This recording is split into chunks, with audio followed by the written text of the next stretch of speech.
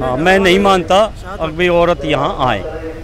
आदमी आदमी के लिए है जी। Press the bell icon on YouTube and don't miss another update जय गणेश जय गणेश जय गणेश देवा माता जाकी पार्वती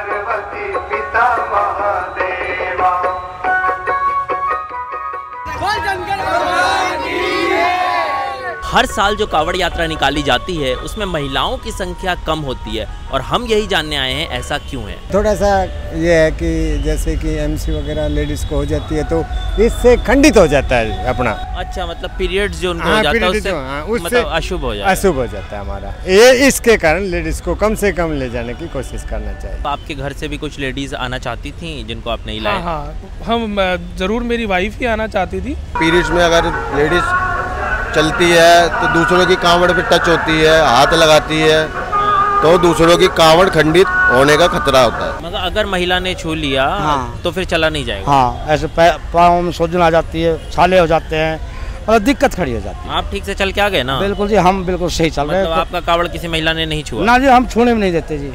सोसाइटी के इस नॉर्म को तोड़ते हुए जो गिनी चुनी महिलाएँ कावड़ लेकर आई हैं इस बार हमने उनसे भी बात की। पीरियड्स वगैरह चलता है महिलाओं का तो खंडित हो जाता है जल ये लोग कहते हैं। कुछ भी ना हो ऐसा। आज हम घर से निकल कर कावड़ लेने तक पहुँचे हैं वरना पहले तो औरतों को बाहर निकलने भी नहीं देते थे घर से। तो आपके हिसाब से महावारी या पीरियड से इसका कोई लेना देना नहीं है? नहीं। क्यों है? क्या है? अरे महिलाओं को तो सब हमेशा दबा कर रखते हैं ऊपर को कौन उठने देता है महिला को?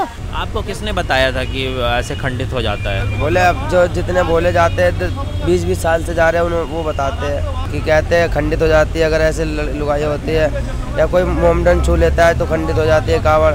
जिस चीज़ को आप गंदा कह रहे हैं उसी से इंसान पैदा होता है। वो तो हुआ सर वो तो तुम्हारी बात ठीक है। तो फिर क्यों उसे आप गंदा कह रहे हैं? ये तो सर हमें भी नहीं पता अब क्यों गंदा होता है? इतना पता है हमारे चीज़ गंदी चीज़ अगर हाथ लगाए तो हमारे खंडित हो जाएगा जल तो ये बात कौन बता सकता है कि जल क्यों खंडित हो जो जाएगा? हमारे बड़े बुज़ुर्ग हैं ना वही बता सकते हैं। जब कैसे कैसे देशों से कावड़ ला रहे हो? जवान लड़के हैं उनसे मैंने पूछा तो वो कह रहे हैं कि बड़े बुज़ुर्ग कहते हैं। इसलिए आप तो बड़े बुज़ुर्ग हैं तो बताइए क्यों खंडित हो जाती है?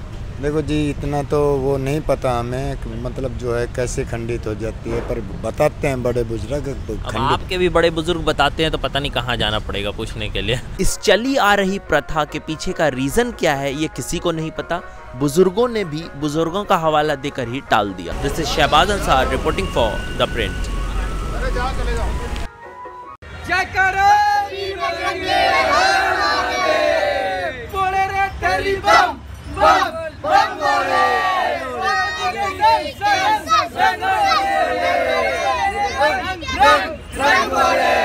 पाकिस्तान का